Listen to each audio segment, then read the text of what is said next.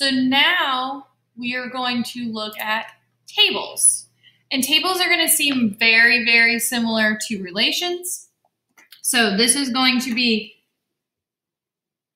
is it a function? Table addition. All right. So we're going to do some very similar examples here.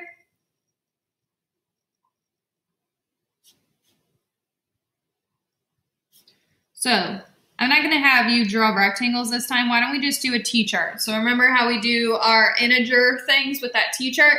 Let's just do that to make it easier. X values will be our input on the right, or sorry, left. Y values or our range or output will be on the right. So the first one is going to be zero, negative three, positive 3, negative 16. On the right, we are going to have negative 10, negative 4, 0, and 15. Okay? So if you look at this, remember, we are worried about our input. We are worried about the x side, the domain side. Do any of those numbers repeat? Nope. So this is a function. So that is a function. On to number two.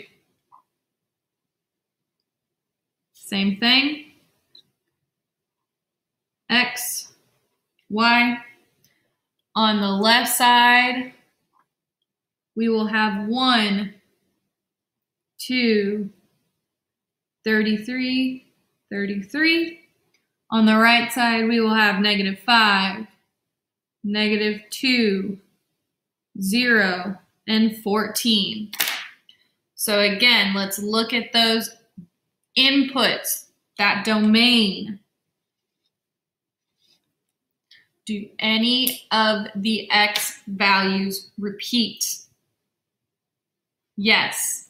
So now we look next to it. 33 maps to 0. 33 maps to 14. Since these two numbers are different, that would be not a function. That would be not a function. All right, let's do another one.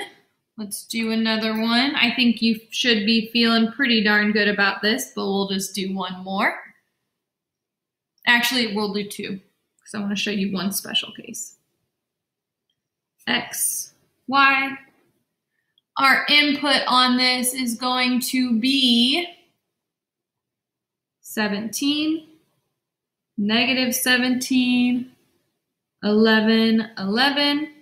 On the right side, we will have 10, negative 17, 14, and negative 9. So look at our x values. Look at our x values, our inputs. Do any of them repeat? So what do you think this is? Domain, or sorry, function or not a function? Function or not a function? Not a function. Good. All right, we're going to do one special case. We are going to do one special case. Special, I spelled it wrong.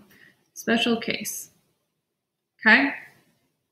So do your xy, and on the left, we are going to do negative 1, negative 1, 0, 1, 2. On the right, we are going to do 2, 2, 4, 6, and 6. 2, 2, 4, 6, and 6. On the left side, look at your domain. Some of you are going to say, well, that's not a function. I have numbers that repeat. But look at, they both go to the same number, so they are the same exact point. This is why it is a special case, because this is actually a function.